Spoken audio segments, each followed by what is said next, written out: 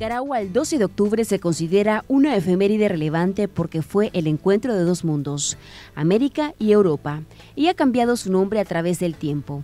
Primero se llamó Día de la Raza, luego Día de la Hispanidad, y desde el año 2008 es reconocido oficialmente por el Ministerio de Educación como el Día de la Resistencia Indígena Negra y Popular conmemorando así la lucha de los pueblos originarios y la rica herencia cultural que legaron a la nacionalidad nicaragüense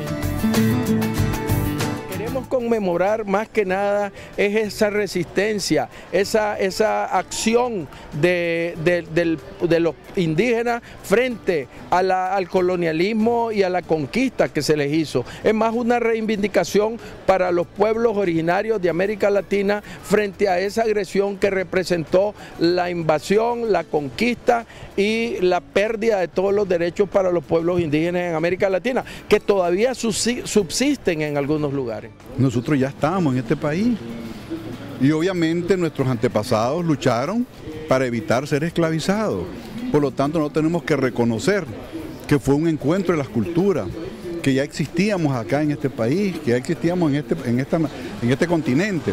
Por lo tanto, vinieron a conquistarnos y obviamente hubo resistencia. Por eso es que hoy reconocemos también la valentía de nuestros pueblos de defenderse ante esa invasión que venía por parte de los españoles. Creo que no estamos cambiando nada, pues simplemente lo que estamos aceptando es un hecho histórico en el cual nuestros antepasados fueron invadidos por tropas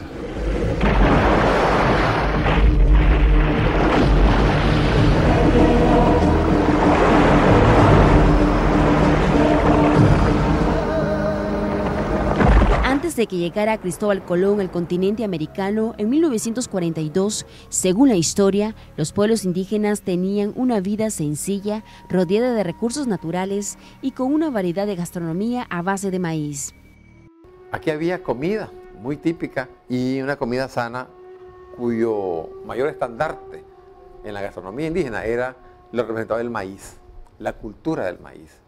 Más de 7.000 años de existencia, antes de Cristo el maíz ya existía como simple, así, le decían simple. El maíz es nuestra, podemos decir, mm, nuestra mayor promoción alimentaria. Cuando vienen los españoles, los conquistadores, ya aquí se conocía el maíz y diferentes eh, variedades.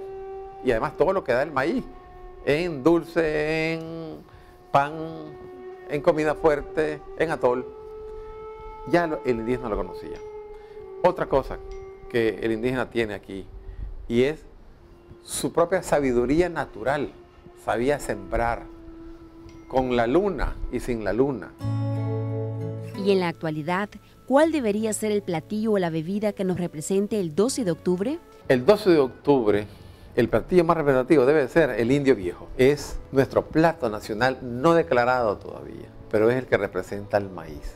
Y el otro plato que tiene un perol de historia es el nacatamal.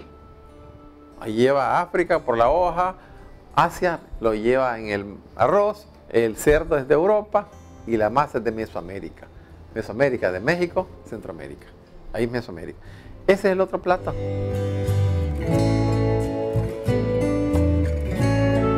Luego tenemos las variedades de refresco de chicha. La chicha bruja, la chicha raizuda, la chicha fresca. Es nuestra identidad.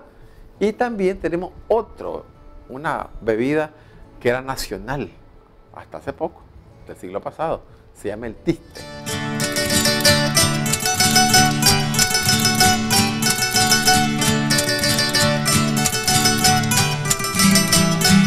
En cuanto a la danza típica más representativa en nuestro país, promotores culturales expresan que tenemos una variedad de danzas por regiones, por lo tanto es difícil definir una en particular.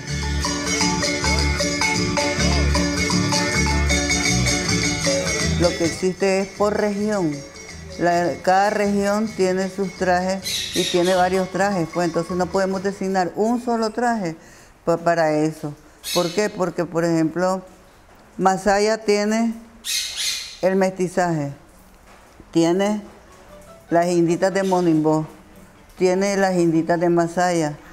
Y entonces, pero son por región. La región del Pacífico es bien rica en danza, en música y en baile y en, trajes, ¿verdad?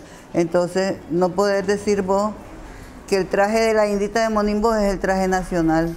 Debería de ser porque tiene todas las características, pero no puede ser, no se debe designar a, una sola, a un solo traje, a una sola región, porque tenemos varias regiones que son ricas todas. Por ejemplo, el lado del norte tenemos mazurcas, amaqueños, sobaqueados y todo eso. Las vestimentas han sido sencillas.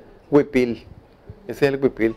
El huipil, luego se han venido aquí algunos inventos que les ponen colorido, que les ponen faldas largas, que les ponen eh, eh, adornos eh, hasta, veo yo, como brillantes.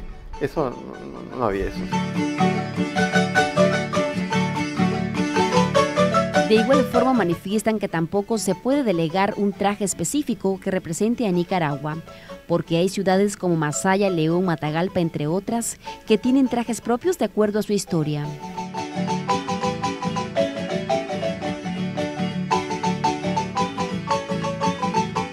El baile más representativo que se da es el de inditas, porque se supone que es la indita sometiéndose al español, ese baile.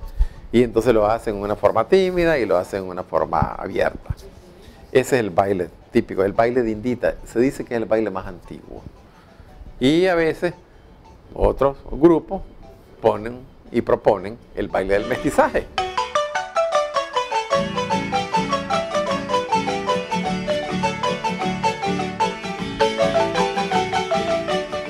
es un baile de lujo.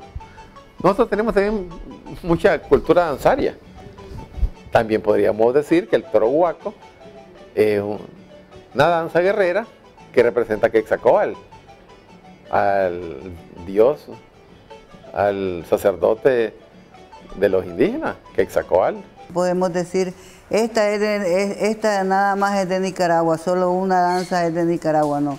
Tenemos, y además de eso, de que tenemos diversidad de danzas folclóricas, Tenemos ahora la diversidad de danzas, además de la folclórica, hemos agregado, en 1965 yo empecé agregando la, la danza, o mejor dicho, le agregué a la música nacional que hacían los compositores, le agregué la danza, le metí danza y todo, cosa que no existía antes.